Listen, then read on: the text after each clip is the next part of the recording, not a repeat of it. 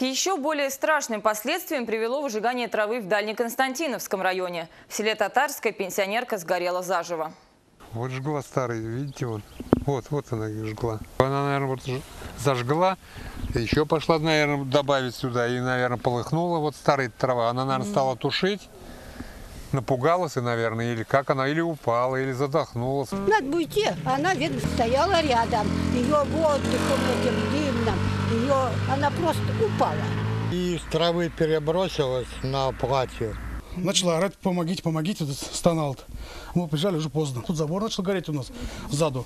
Мы начали соседей спасать. Мы начали тушить это все это. И потом я уже пошел туда, видел, что лежит тело, уже обгорелое. Так-то она, по идее, полненькая была женщина-то, бабушка. Там всю кожу все стянуло. Там лицо даже не до неузнаваемости. Приходили соседи, смотрели на нее, никто не мог узнать, что это она. Конечно, предупреждал. Ничего вообще не хотели жечь. Зачем? Здесь же нельзя жечь здесь. Посмотрите, какая она сухая трава-то. Разве можно здесь жечь?